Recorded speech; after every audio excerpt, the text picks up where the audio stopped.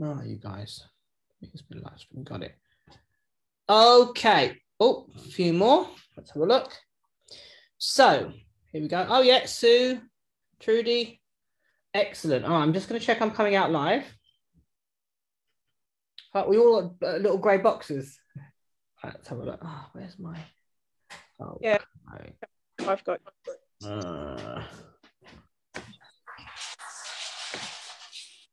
cool. Oh, all right. Okay. Hey, hey, Dylan. Hey, Trudy. Oh, can't you hear me? all right. We're just settling in. Um, those of you watching on Facebook, hopefully this is, I think it's coming out live. I can see it on my phone. Um, so uh, we'll just give it a couple of moments. I think there's a couple of other people that are waiting to join. Um, and uh, I'll do a little, I'm going to just change the view. I'll just do speaker view for a second. Let's just, do, hang on a second. Okay. So let me just move this out the way. All right. Welcome, everybody. Um, thank you for joining me live on Facebook. This isn't the best lighting. Let me see if I can. Hmm. Bear with me. I'm going to just try to flick another light on. Bear with me. All. You wait there, you.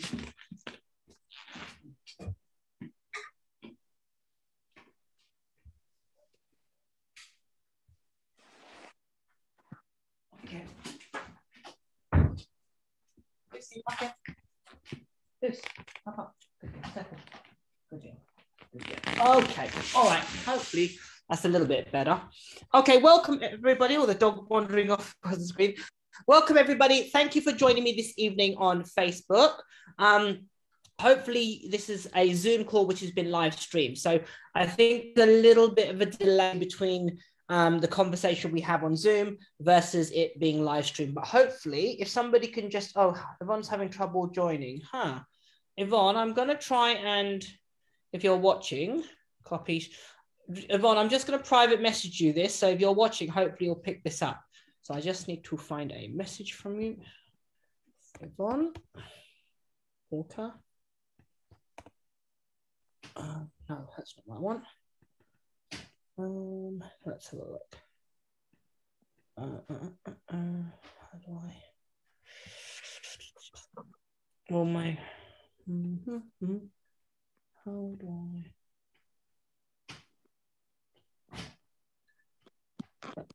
I'm just going to try and get Yvonne in the meeting. Hmm. Anybody ideas how you share the meeting with somebody individually? Any, anybody got any ideas? Oh, it's a one-eyed border terrier. If she just clicks on the link, she should be able to go in it. Okay, all right. Or you can. Um... No. Hello. What going on? That's Amos's info. Is it? Let's try. Hmm, because I think because I'm living streaming, I'm not sure I can share. But let me try. Invite. Try that. I'll tag her in the link on the page. Copy. Invite. Okay, hang on. I think I might have done it. Hang on. Yeah, go on. Yeah, you can do that, and then we'll try it both ways, Lou.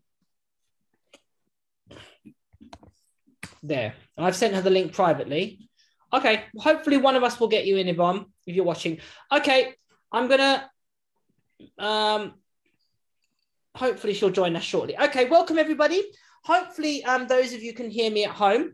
Uh, and this is uh, some of the uh, my VIP members um, from uh, several uh, places. So we've got representatives from New Zealand, Australia, Holland, and obviously around the UK. Some of the others I think might be trying to. I think Yvonne's coming; she's in Scotland. So a broad, eclectic mix of people. So um, I just thought I would do this as an opportunity for anybody watching on Facebook to um, get an insight from people that are in the VIP groups um, about their experience of online training and um, we'll just have a little bit of a, a conflab about obedience. So let's just do a quick little. Um, da, da, da, da. Lou, you're going to put your camera on. You're going to be camera shy.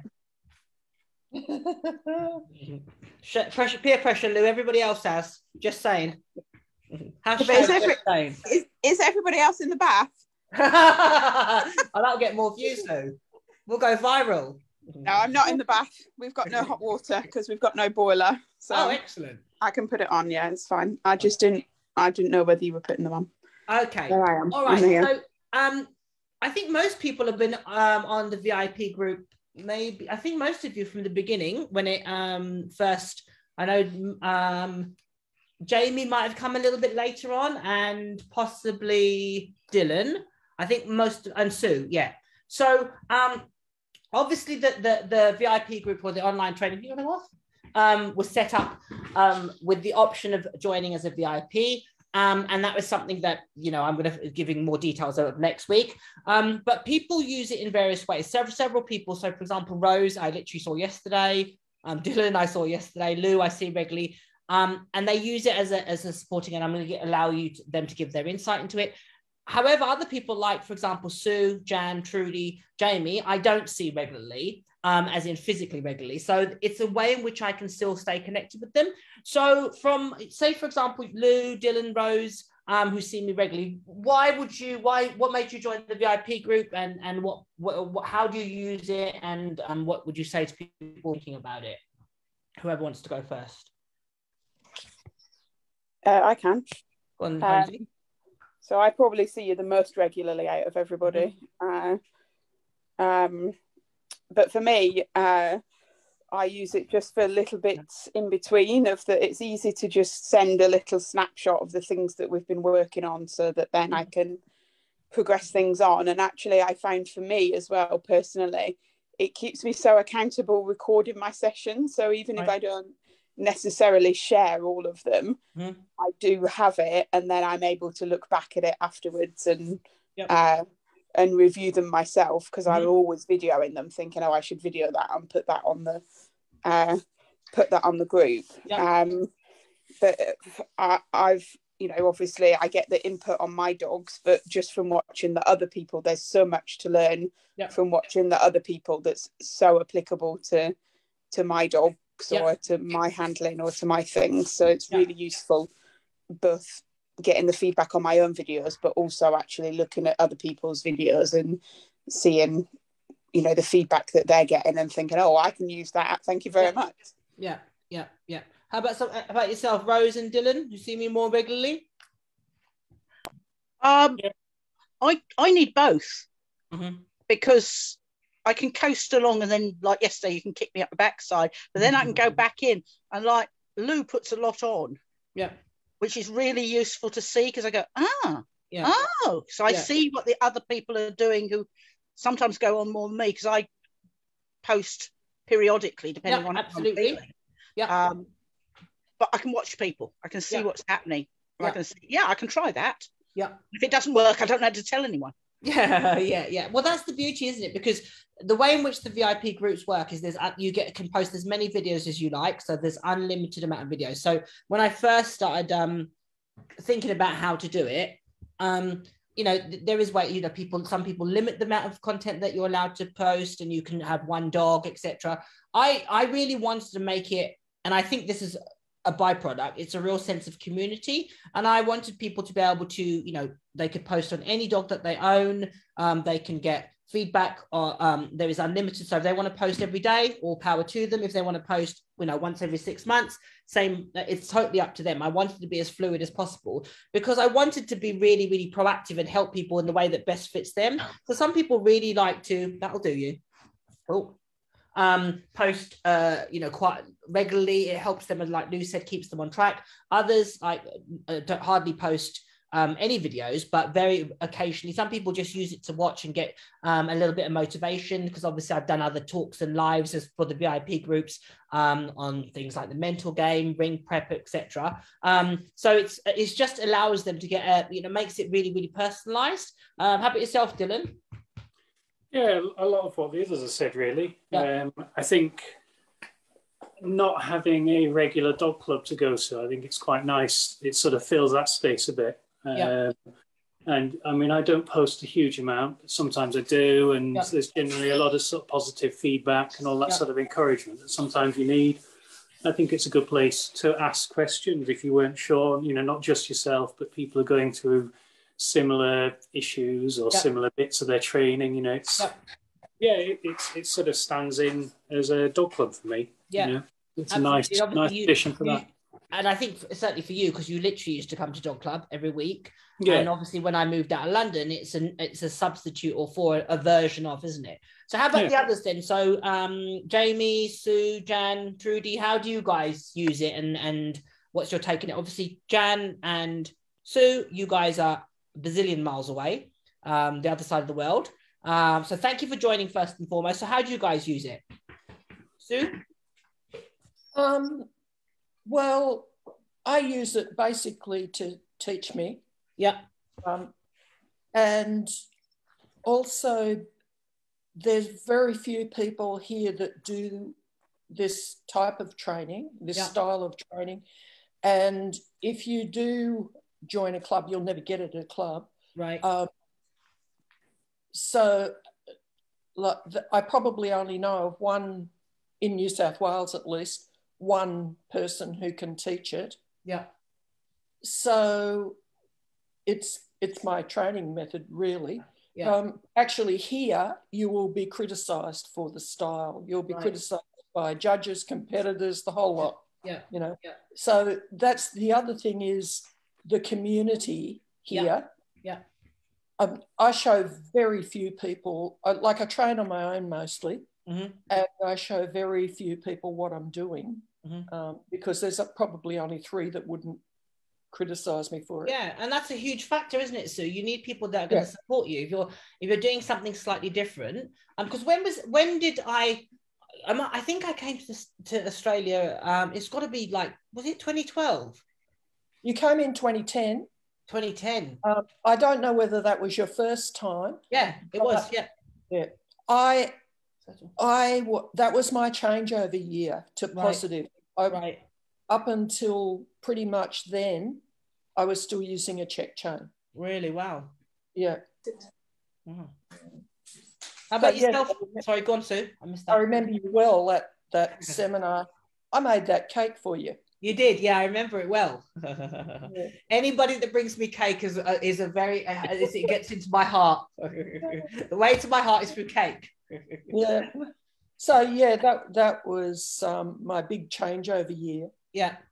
But and obviously because I oh, I have um, obviously travelled back to uh, to Australia and New Zealand periodically, but the pandemic really really affected that because nobody could travel anywhere. So it Yeah. meant that um, you know I, I could still help and access my students and have that continuity. There is several people from um, you know Australia and New Zealand on the group um, that utilize it to again give them that additional feedback that I can't do in person. But this is probably the next best thing. How about yourself, Jan? Um, well, I met you in New Zealand through Yeah. Sally down in Dunedin, and I Yeah. brought Rossi the Nutter, Yeah. and um, he was. I was blown away with the positivity of the style of training because I'd only ever known agility training, which is positive anyway. It has to be. Um, so I joined the group to get a lot more technique because there are a couple of trainers, Sally and another in New Zealand, but they're not close. Yeah. Um, so I don't post very much. And that's because I, I realized listening to you, I've got in the mindset of doing other courses where you're only allowed a minute a week. Yeah. And I hadn't fully appreciated the benefits of just posting a lot more. And I see other people do. Mhm. And I, I should too. And the other thing is, um, sorry, that's a that's a staffy wanting some training, amazingly. Um, the, um, you know, I sit down. Thank you. Um, so I've, I've I've got into a bad habit with other courses Mhm. of posting the best minute Mhm. rather than all of the minutes. Yep. And I, I mean, after listening to you just now and, and thinking about how the others are using this, I'm going to use it a lot more. Yep. Um, I really appreciate how fast your feedback is. I mean, Yep. it's just amazing. Mhm. But- So thank you from all of us, I'm sure. Yep. And um, so I, I watch every video that gets posted Yep. and I, then I read other comments and I'm learning sort of on the sidelines as well. I'm going to think I'm going to come back and participate a bit more. Yeah, but the thing is, Jan, there's no pressure. You can come. That's the No. beauty of being in the group. You can post as regularly as you want. I try to keep on top of the feedback. I, and then on the odd occasion, if depending on how Facebook works, if it pop, if somebody sometimes posts a video follow up, then I it's sometimes good. But it's very if it is, it's just a case of tagging me, and I I will pick it up. And I try to keep on top of the feedback as um as regularly as possible and and um, within the day definitely. Um so jamie jamie you're obviously new to um obedience. How has it helped you then with if you're if um in with your training? Yeah so i've been um involved with mainly just pet um dog clubs Yep. for probably 15 years but never anywhere that's really done sort of um obedience training as well um, so I've always dabbled with obedience, but I've Mhm. never really properly trained a dog for obedience. I've Yep. just always sort of had a play. Yeah. Um, so I decided at the beginning of lockdown that I really wanted to up my game. Mhm. And having sort of trained with yourself a few times, different places and different Yep. things, um, I saw your VIP group. Yeah. Right, I'm gonna. I've got time now. yeah I've got hours at home. Yep. Um, let's sign up and really Yep. sort of crack on and Yep. focus on the, the, the obedience with my new Aussie. yeah Um, so I found it really, really helpful. Um, I already sort of did a few little bits and pieces Yep. uh, that I found on the group, but it's opened up a whole new training regime for me. So many different little bits and pieces that I Yeah. never would even think about yeah training my dog to do. yeah I found on the course, Yeah. and it's it's brought my level of obedience skills from sort of three to, to nine in such a short space of time. excellent It's been really, really good. Good. Uh, I, I love- I, I, that's really great to hear because obviously you've just started on your obedience journey, so to speak, and it's great that obviously you've you found it that it is so helpful and it's been able to uh, upskill you, which was the intention, but you just never know how these things pan out. How about yourself, Trudy? Then you're the grand dam of obedience. You've been in it probably about as long as me. What what was the? How do you use it, and how do you find it helpful? Okay, first of all, sorry for my language because English is not my first uh, native uh, thing. I think I I think uh, I met you, Kamal, when you did more or less the first training day. Was was it your first training day in uh, with Lucy's? Uh, well, one of your first, I one think. of my first. I definitely came to Holland really early in my when I started teaching. So it's got to be, um, it was probably about 2005 Mm, um, when I first started teaching because I think I did a seminar over here and then you guys asked me to judge and then do something a Yeah. just uh, yeah. So I, I mean that goes that's going back a few years yeah. and we haven't aged a day, Trudy. It has to be said. no, I, uh, I think it's very helpful. Yeah, um, and I think it's very inspiring. Uh, I think it's nice to see different levels, and I have to say, as an extra for me, uh, because I'm well instruct some not a, not a not as lot as I used to do, but I, I do instruct people too. So I think even if it isn't very helpful for me, it could be helpful for you know I won't show the videos, but you know I get ideas to help other people's too. Yeah. Uh, so that's nice, and I think. Um, like other people said, it's very inspirational. It's nice to get feedback. Sometimes uh, you think, "Oh fucker," but then you have to, well, I, I do anyway. and I have and I have a well, you know a nice you know I'm in sport for 30 years, so you know I'm not. Uh, well, you you know, I used to be uh, groupie from the uh, uh, groupie from several people. You know, I've I've a little bit my well, make my mind up a little bit myself. Yep. After an evening, I think, oh fucker, he's he's right after all. and especially the thing what annoyed me because you know it's all about motivation, motivation. And you know, you know me very well. I said, no, no, Trudy, you don't send this dog over the top again. Yeah. And I thought, well, you know, but yeah, yeah. So it's you are annoying, uh, annoying. Uh, well, it's annoying that uh, after I, can, I can tell you the honest truth. yeah, I'm just getting the puppy water. Sorry, guys.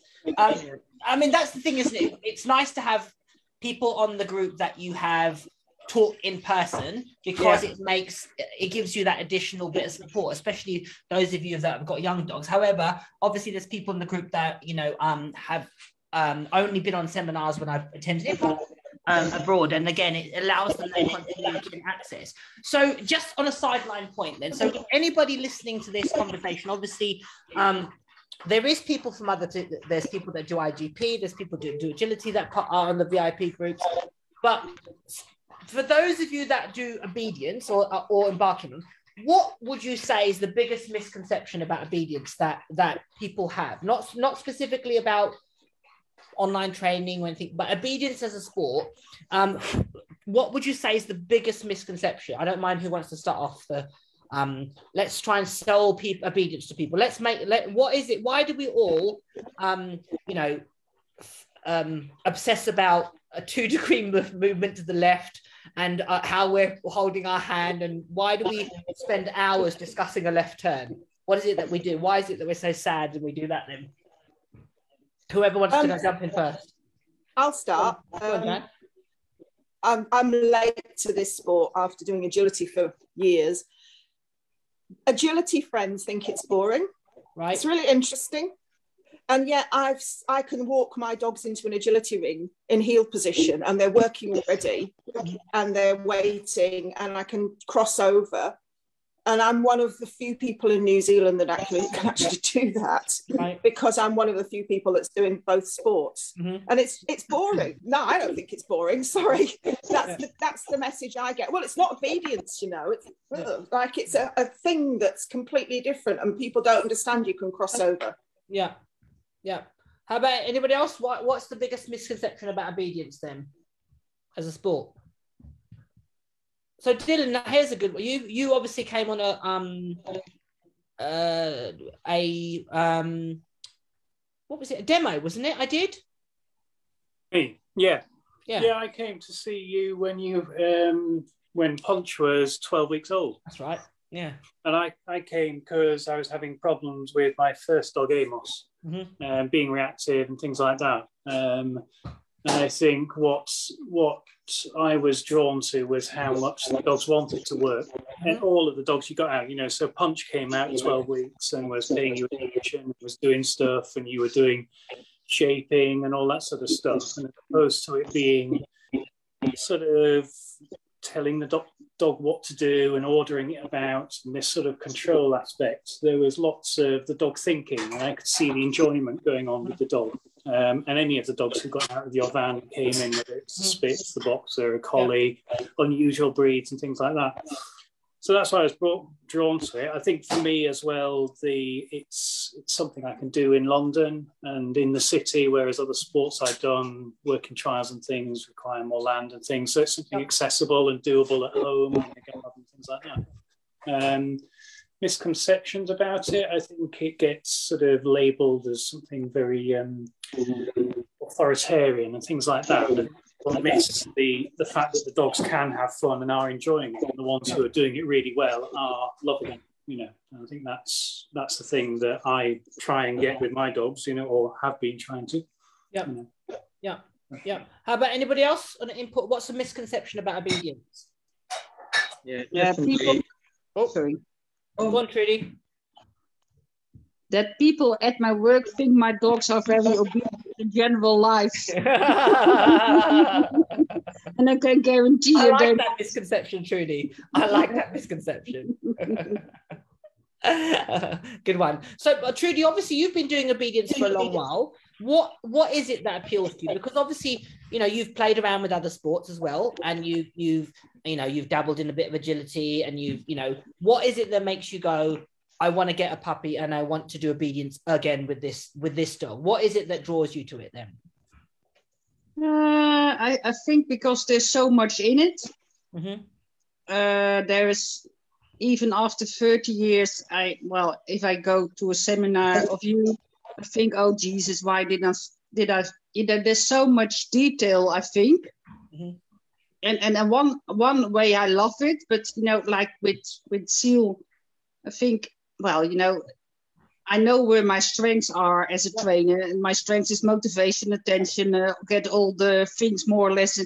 But I'm now, you know, ready for the last five percent, and that's um, that's a I know a hurdle for me. I think, oh God, all that all those tiny, you know, like little detail things. Um, I like it, but I hate it too. But Yeah. that, that's uh, that's um, that's the challenge for me. I think Yeah, overcome myself Yeah. every time and my dog.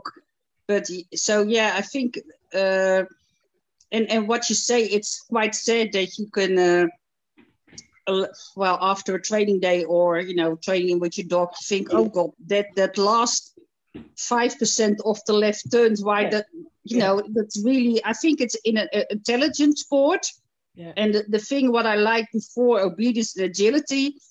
In obedience, if you do you know like a turn, well, ten percent out of balance or something, well, you're still in the game. Yeah. But in agility, if you if you move your left uh, eyebrow, uh, well, you're disqualified then. So that that was not so Or you, nice. you could have an off course, yeah, or knock a pole, yeah, yeah, yeah. Yeah. So yeah. How about yourself, Sue? How how about what makes you do obedience then? Um, well, my history really, I I used to train Koehler's method. Um, Right. And I had Rottweilers and I was very good at Koehler's method. Mhm. But then I got a border collie by accident and tried to do Koehler's method. Poor bugger. Anyway, um, I went to a trial because I hadn't trialed for quite some time when I had mm-hmm. the border collie. I think it was about 15 years. And when I got there, the standard had gone downhill so badly, it was just Really? unbelievable. But Steve Davies was there. Yep. And so I saw one dog that could heel. Yeah. And I thought my dog was ready. And I looked at his dog and I thought, No. I want to do that. Yeah. Anyway, I bugged the hell out of him for months and months and months before he'd lower himself to look at me. Um, and he finally tried to teach me a few things, but it was pretty hopeless. And then, because I didn't understand, and Yeah. it's an entire mind change. It's not just the physical things. It it's a total like if you, it's the opposite end of the scale. Yeah. You know, and the two are incompatible. You can't do half of one and half of the other. Yeah. Um, so he taught me some stuff, and then I found online things and got in with Susie and Allison and Yeah. Bob and Steve and Yeah. learned a fair bit from them. And you know, I had a few lessons from Susie, but I think basically it was the comparison that I saw at the trial. The dogs that are trained this way are very rare here, Mm. but they are outstanding. You Mhm. know, to me anyway. Yeah. Yeah. Um, I think judge- you know what I think that's a very common experience. I know certainly my experience was it was one person at dog club that inspired me to want to do obedience. So Yeah. um I went like a bit like you, Sue. Um, I went to dog club and I we did square bashing. So we walked around for the first time. You know, the second might have been the second night. Um, there I was about nine years old, ten years old, with this little chow chow cross border collie on a check chain and just walked around the hall all night really with a check chain. And on a, it was a slippery floor. It was just you know horrific. But you know funny enough i still fell in love with dog training and then what happened was after we finished our class then you'd have the people that were more obedience focused. And I, somebody came in with a, a lady called joan um, she used to have a massive beehive um, beehive haircut which she always had. And she had this german shepherd called samba and she did distance control with him by putting him at the one end of the hall on the stage and she went to the other and she did and i just thought i was absolutely blown away by the fact that she could i mean i couldn't even get my dog to sit and there she was doing six well it might have been even more position changes and i was abs- and that was the moment where i went oh my gosh wow.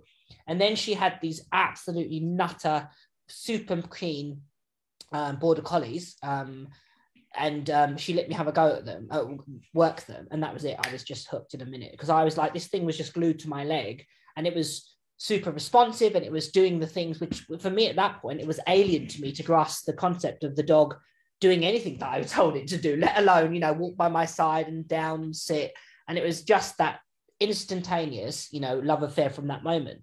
Um, how about you, uh, Rose? And um, Rose has been obviously you've been training dogs a little while. And Lou, you guys, what makes you keep on doing obedience then? What keeps you enthralled after all these years? Rose?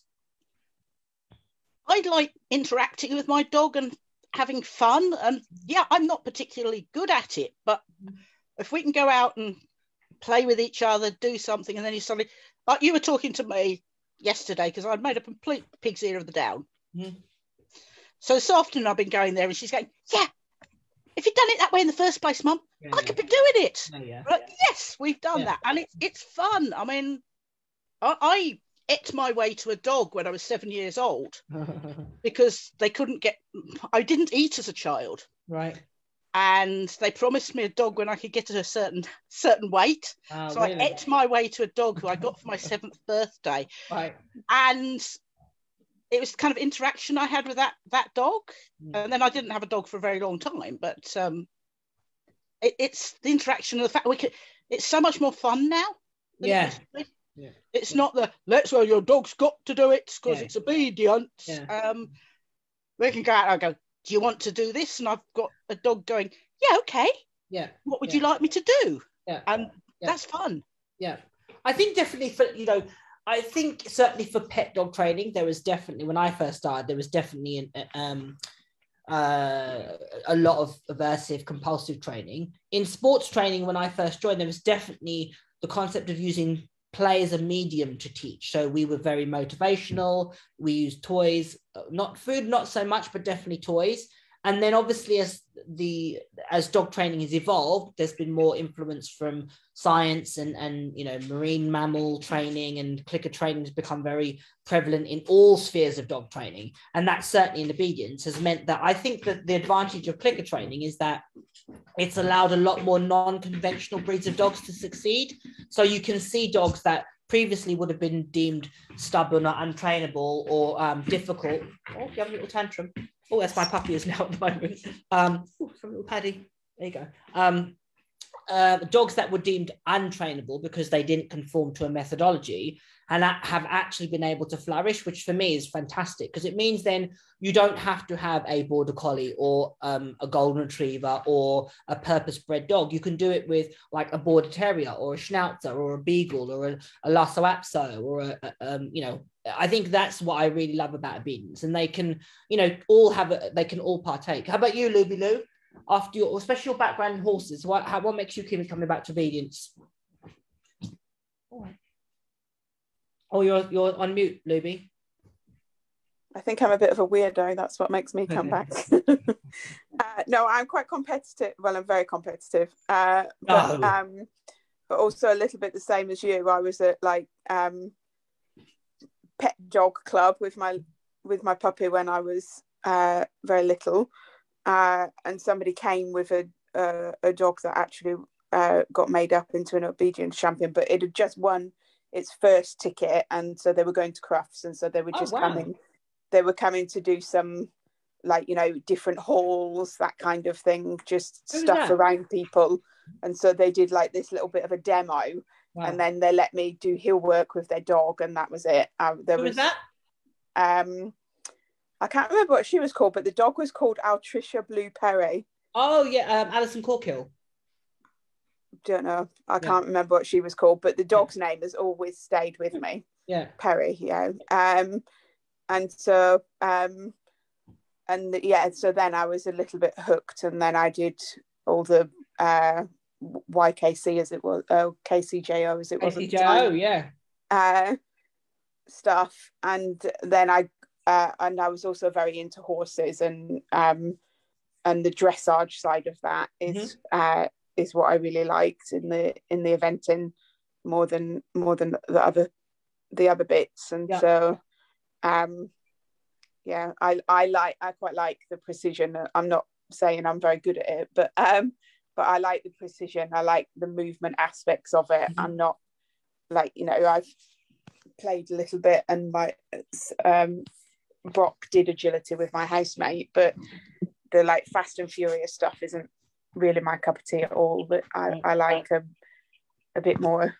Uh, I, I can totally appreciate that it's brilliant, and when it's taught well, it's just fantastic to watch, Mhm. and the responsiveness. But I like, I, yeah, I just like working I, with the. for me, do you know what it, the big appeal of obedience is? It's the juxtaposition between two absolute opposites. So ultimately, we want our dogs to work with loads of enthusiasm and drive, but then they have to perform these behaviors and have really nail exact criteria. Like, you know, their left toe has to be in a certain position, their head has to be in a certain position, they have to have duration, they have to do it under distractions, they have to do it um, in, a, in, a, certain rhythm. And it's those bits that really appeal to me that um, the conflict. And obviously, I do a lot other sports as well, which is uh, from a dog training point of view, I like the diversity of training different things. But my heart has always remained in obedience because. Um, because of that entity, and obviously it's my initial foundation. Um, so how about um, for anybody contemplating then? So anybody out there that's watching um, that or partaking, what would you say um, to them to sell obedience then so anybody about what would why would they why why do obedience because obedience for me sometimes gets a really bad rap um, in that it um, it's seen as you know the serious official sport and um, it's often you know perceived as we're very po-faced and serious um, and, and what would why would anybody want to have a go at it then what's what's give me some pros of obedience anybody jump in I think think somebody touched on what I would say first is the increased uh, relationship with your dog. Yeah. You know, if you can train your dog to do some of the stuff you end up doing in obedience, then your understanding of training and what your dog understands of what you want of it and things like that. I mean, the increased uh, relationship with it is is the main thing for me. You know, I love training my dog. Um, more so than competing and things like that. It's the sort of training side of it that I get out of it. So that's the main thing for me definitely. Yeah. Anybody else? What's the what's the why would anybody want to do obedience? What's it? How's it?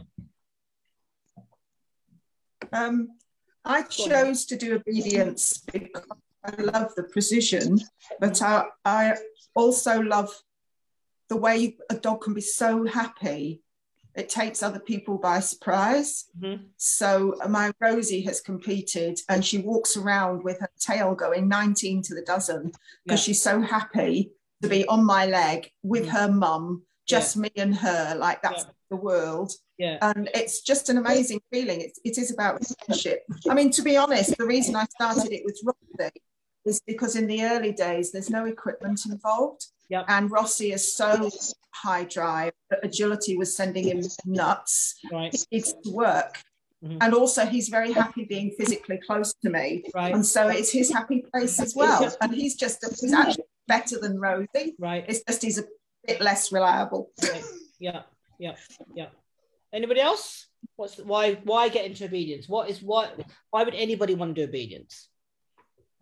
Yeah, I have to say I like the social side too. Yeah. You know, like uh, spending a day with friends, uh, and some friends I know for 30 years or longer. Yeah. And you can talk about your dog without. Uh, uh, Looking, yeah. You can talk about a left turn and nobody thinks you're weird.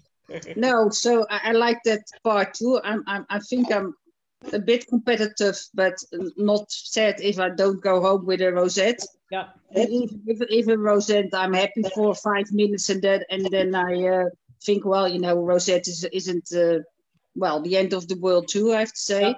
Yeah.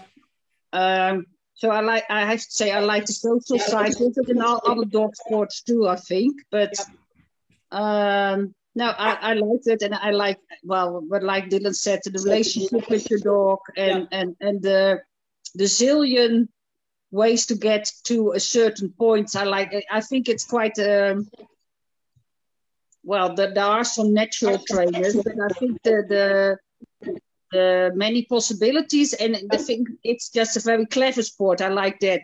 Yeah. Yeah.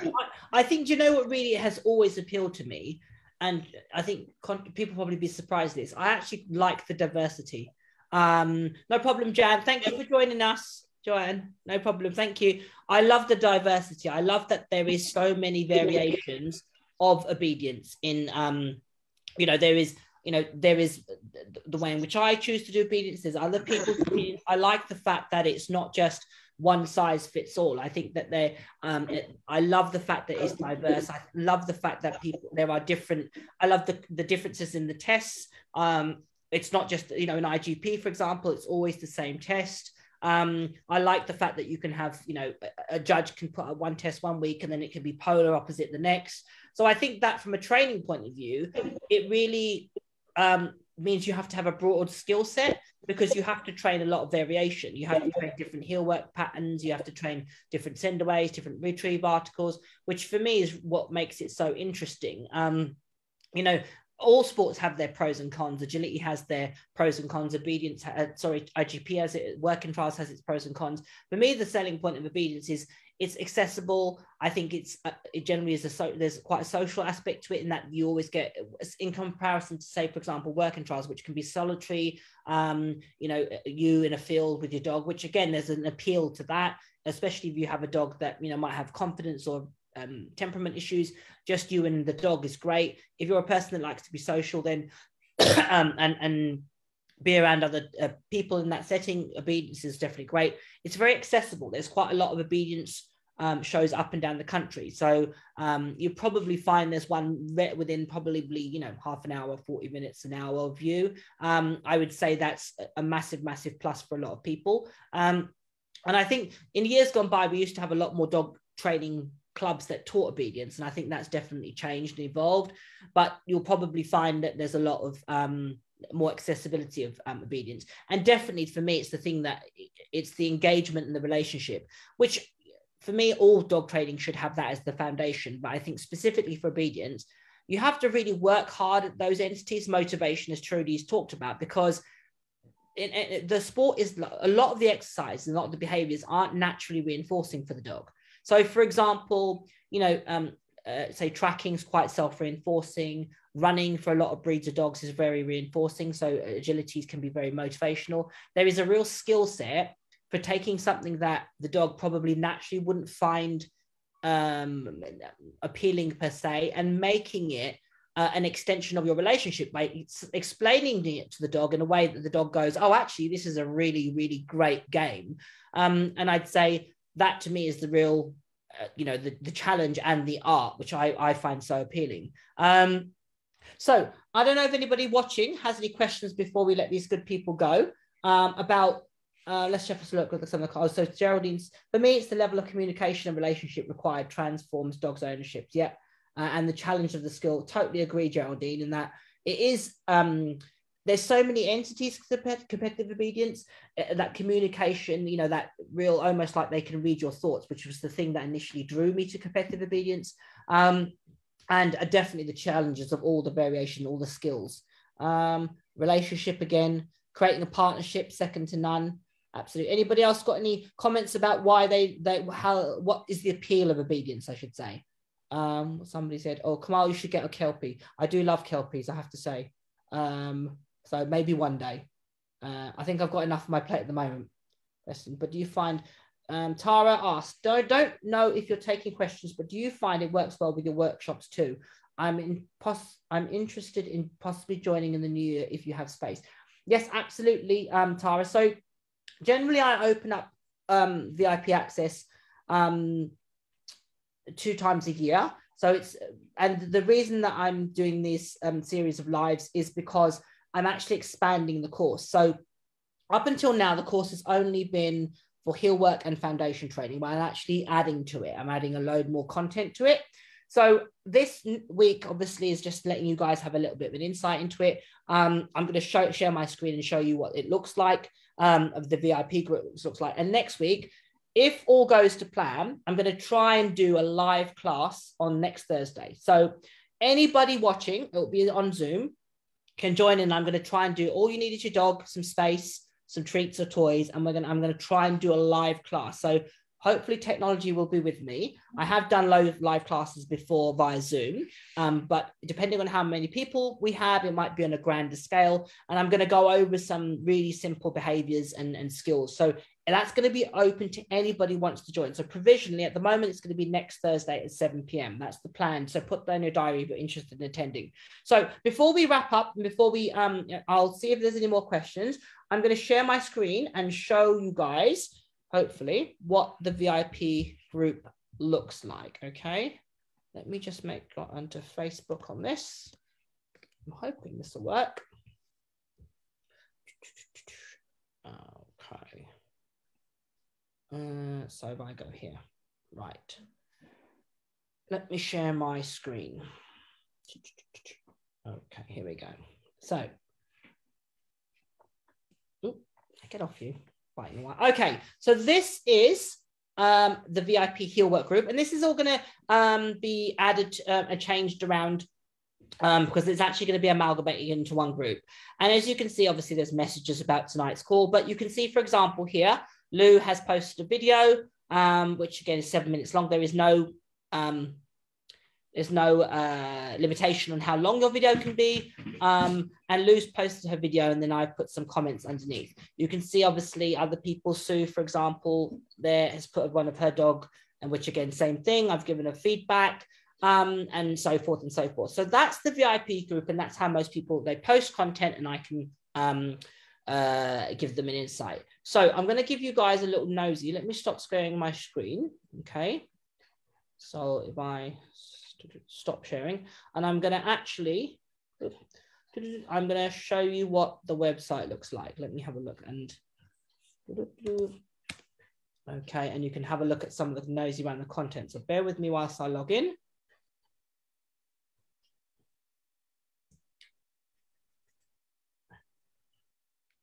Okay. Okay, so I'm going to share my screen again and show you okay, so this is the online course and obviously the various courses that I've got on, uh, and the, the subjects covered. Um, the relabeling reactivity one was obviously specifically for reactive dogs, but some of the people in my various groups uh, um, actually belong to that. Um, and this I'm going to go into, let me find it, the heel work course. So if I expand on that, okay, we'll click on that. And then you can see a whole load of lessons. Um, so if I open pre-skills for heel work, okay, a whole load of lessons and lectures um, and content and information about um, heel work training specifically, because that's obviously what this entity relates to. Um, and then I've got obviously information about footwork, um, prep work for body awareness for heel work, how to teach the core skills, all the various entities, and so forth and so forth. So you can use that if you're um, once you subscribe to the course, you can put con uh, um, videos up of any of those lessons covered and ask questions about your your, your struggles or what you're dealing with, etc., etc. Um, again, there's a section on small dogs if you've got a small dog. Um, all the various skills needed to teach competition heel work. The addition to the course, if I stop square sharing, is stop sharing. The additional exercises are then covered in the course. So um, all the other exercises that an obedience dog um, needs is going to be covered in the course. And I'm my um, as part of the new online group, um, the Facebook group, you uh, will also be able to. I'm going to aim to do a class on a regular basis for everybody on the various content. Um, within the VIP group, I also do webinars and lectures, and I've got some special guests um, that I've got planned in the new group that I'm going to have done on various topics relating to um, obedience and the foundation skills. All right, so loads of stuff planned there. Um, so unless anybody has any other questions, I'm just going to check my phone. Uh, let's have a look. Ooh, working task with my first, but I do hope you. Yeah, absolutely. Everybody, ha- I think you know, working trials is a great sport. Funny enough, I was tracking today. I love trials training. I love the diversity of it, um, and I think obedience creates a really great foundation for all dog sports. So you know, if you look at um, Denise Fenzi, Susan Garrett, um, Janice Gunn, um, Terry Arnold in the states, all of those people have a an obedience background and really really successful dog trainers um, that have dabbled in obedience and certainly it's um, played a massive part in their foundation. If you watch a lot of the stuff, say for example, um, um, Denise and Susan do, there's you can absolutely see their obedience background um, in how they teach and the skills that they teach. So let me see if there's any questions. Oh, don't much the camera. All right, all. So uh, let let us show uh, the puppy face again, please. Oh, hang on, I've got to get him back. Hang on a second is eating something. Probably he shouldn't know. He's got his con in his mouth. Hang on a second, Trudy. Mm-hmm. I'll finish up with a cute puppy. That's always a good end. Yeah. He's contemplating. Come on, come on. He doesn't have a as yet. Well, he does, but I don't want to test it. Come on. He's, he's contemplating coming. Let me grab you. Come here. Right. what a better way to face finish. Oh, Oh, hang on, there we go. Oh, and Sugar's like at gate crashing. She's photobombing us. yeah. all right, all. Thank you very much to my VIPs for joining and giving your insight into the group and how you use it for people to um, get an understanding. Certainly for those of you that on the other side of the pond, I really do appreciate you joining. Thank you very much. It is, I have to say, it's a fantastic community of people. Everybody is really genuinely super supportive. Um, you always it's a real positive energy within the group. Everybody's really uplifting, which um, has been oh, has been created, but also you know they all take up the um, mantle themselves to lift others up. When you know some, and, and I'd say also it, it's a safe community where they can share their struggles. When sometimes people have got a little bit exasperated, they can share that you know, I'm getting frustrated on this particular skill. And you'll have, you know, easily half a dozen people, if not more, that are going to say, no, you're right. And, you know, uplift you, which, as Sue explained, is a massive um, part of dog training as a journey. All right. Okay, all. Thank you very much for joining. Hopefully, it's been interesting listening to meeting my VIPs. Sugar's determined to get on camera. Bless her. Okay, that's it. Get the cute, the cute appeal. Um, I shall love you guys and leave you guys. So pencil in your diary next Thursday. Something's been broken. Better go and rescue the puppy. Um, pencil in your diary next week, all of you watching as well. 7 p.m. next Thursday, the 11th. I'm going to attempt to do a live class, okay? And everybody's welcome. All right, all. I love you guys and leave you guys. Take care. Thank you. Thank you.